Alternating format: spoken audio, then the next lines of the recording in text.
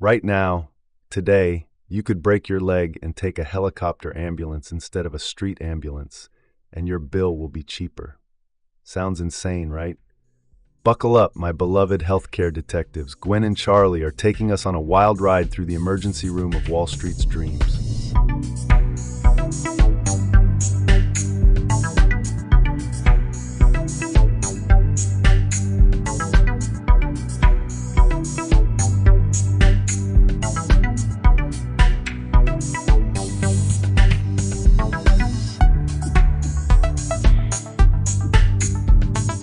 Welcome back, my intrepid health explorers, to another mind bending episode of our podcast. I'm your host, Theo, ready to be your guide through the labyrinth of modern healthcare madness.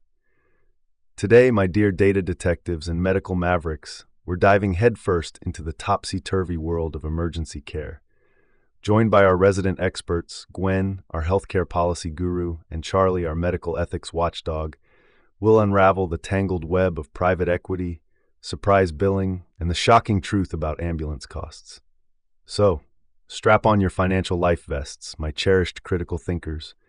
Whether you're a concerned patient, a healthcare professional, or just someone who wants to understand why your ER visit might bankrupt you, this episode is your survival guide to the wild west of American healthcare. Let's embark on this emergency expedition and see if we can diagnose what's really ailing our medical system.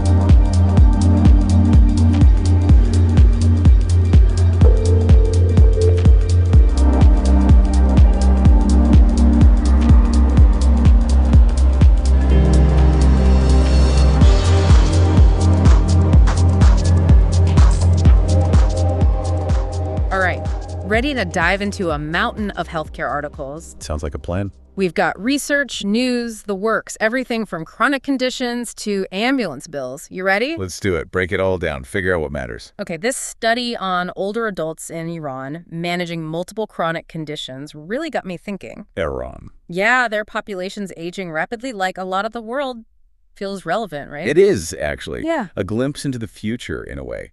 So, what did they find? They were looking at what helps, what hurts when it comes to managing not just one, but multiple health problems. And guess what they found? What's that? Fatigue plays a massive role. Oh, absolutely. We focus so much on the physical limitations of chronic illness, mm -hmm. but that constant drain, it's huge. Exactly. And it affects everything. How do you make good choices, advocate for yourself, when you're running on empty? It's nearly impossible. Yeah. That's why this study is so important. It's not just about willpower. It's about support, family, access to health care, even just a society that respects its elders. It's the bigger picture, right? Exactly. They even found a link between altruism, helping others, and better self-management. Whoa, really? Seems counterintuitive, but yeah. Maybe it's about feeling connected, having a purpose beyond yourself. Makes you take care of yourself better. It's fascinating. Food for thought. Okay, let's shift gears a bit, talk about nursing homes and some potentially good news on the telehealth front. Oh, yeah, this is big, especially for rural areas. Looks like the House might make those pandemic telehealth flexibilities permanent. That's huge. Specialists without leaving the nursing home. Exactly. Less burden on everyone. Hopefully better outcomes. But the next bit of news, well, it's Mm-hmm. complicated. Oh, I like complicated. Hit me. Okay, so staffing shortages, right? Yeah. Huge problem. The worst. Yeah. So the House wants to make it easier to train and hire certified nursing assistants, CNAs. Makes sense. But what's the catch? One proposal gives CNAs already working in nursing homes two years to become fully certified. Instead of four months. Yep. Hmm. I can see how that might be controversial. Feels like a Mm. band-aid solution, right? Trying to fix a staffing shortage by, what, lowering the bar? It's a tough one. You want to get those roles filled fast, but at what cost? Exactly. Is it worth potentially sacrificing quality of care from our most vulnerable, no less? Right, that's the debate. Proponents say it's necessary, given the urgency, but critics, they're worried. Understandably. It's a tough system, long-term care. You need the staff, but the care has to be good care. It's a balance. Totally agree. And this is just one tiny piece of a much bigger puzzle.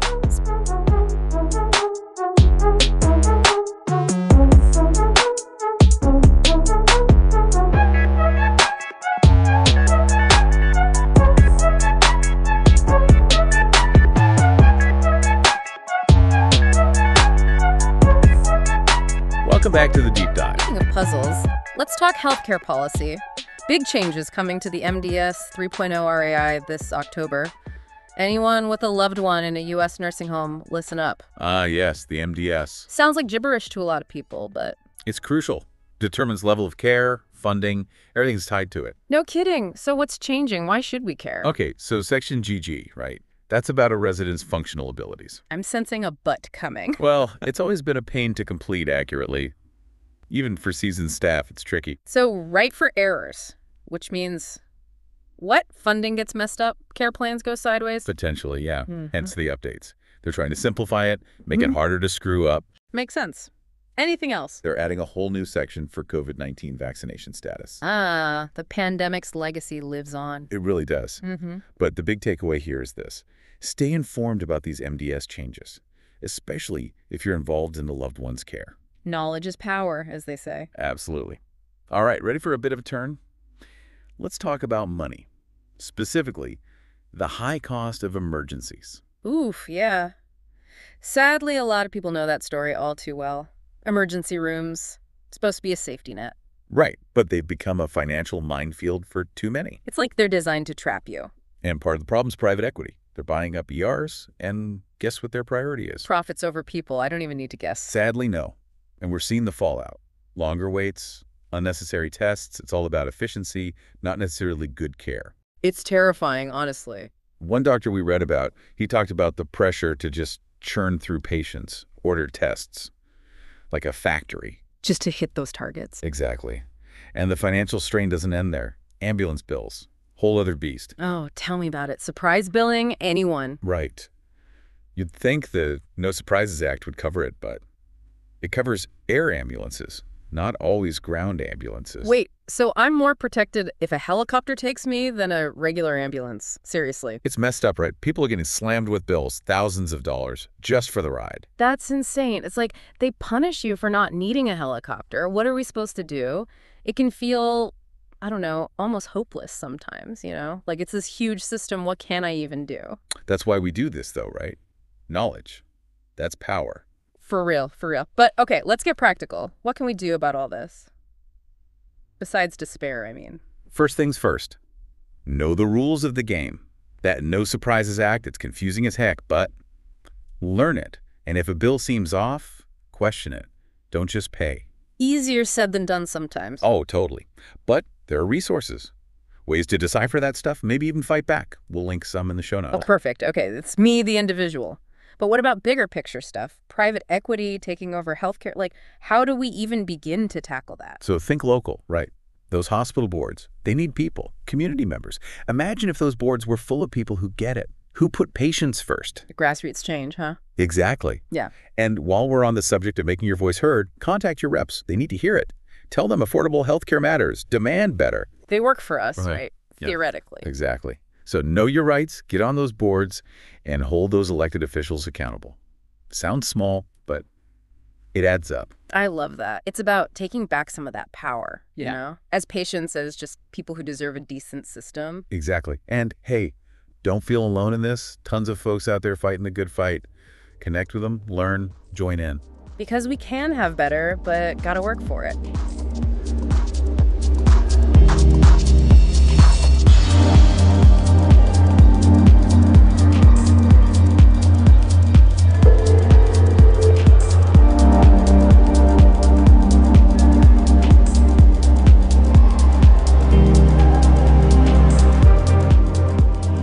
My esteemed emergency care investigators, we've reached the end of our healthcare horror story. Feeling a bit queasy? Don't worry, that's just the side effect of swallowing the bitter pill of medical reality. So, what's your diagnosis? Are you ready to demand better from your local ER? Or are you Googling nearest helipad for your next medical emergency? Perhaps you're somewhere in the middle, seeing both the wounds and the potential treatments for our ailing system. If this episode raised your blood pressure in a good way, don't keep that righteous indignation to yourself. Share it with that friend who thinks their insurance will cover everything, or that politician who needs a wake up call about healthcare reform. And hey, drop your thoughts in the comments. Are you team regulate private equity or nationalize the whole system? Your voice matters in this grand experiment we call American healthcare. Remember, every revolution in history started with people saying, This isn't right. So keep questioning, keep advocating, and who knows, maybe you'll be the one to write the prescription for a healthier, fairer medical system. Until next time, stay curious, stay skeptical, and for goodness sake, stay healthy. Your wallet will thank you. This is Theo, signing off from the front lines of the healthcare battlefield.